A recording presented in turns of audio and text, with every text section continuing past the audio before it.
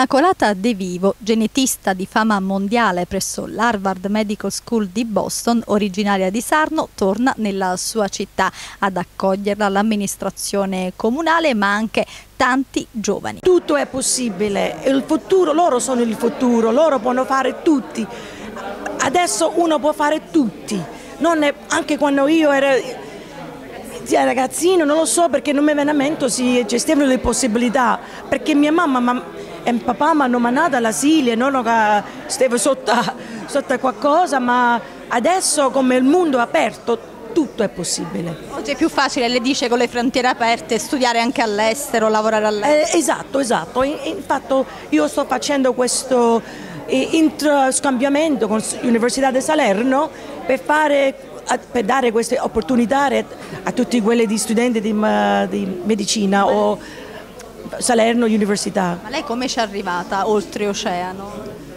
Eh, con lavoro e sacrifici, tante lavoro, però io ho la passione. Ha studiato qui in Italia, ha studiato? So, no, io ho lasciato a sei anni e ho studiato in America, eh, però la lingua a romano eh, meno perché con mamma. E poi quando io sono stata all'università, Columbia University, ho preso certi corsi per, per me per, me, per leggere, per scrivere. Per imparare e mantenere viva la lingua. Perché a me mi sotto sempre sarnese. Una cosa, lei è una genetista e ha dedicato molti studi anche alla dieta mediterranea, sì. giusto?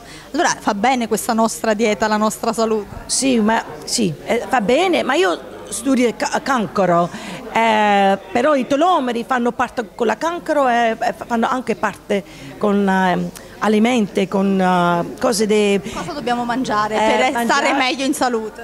La, mangiare nostro, mangiare paesano, quello è meglio, però poco, eh? Quella è la differenza. Esagerare. Troppo esagerate. Poi eh, esageriamo un po', eh, giusto? E non mangiare la spazzatura.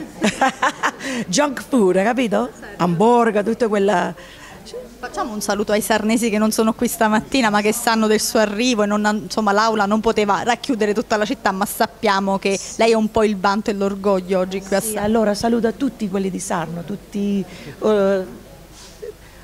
come voglio dire, sono emozionata. Lunga vita a tutti. Lunga vita a tutti.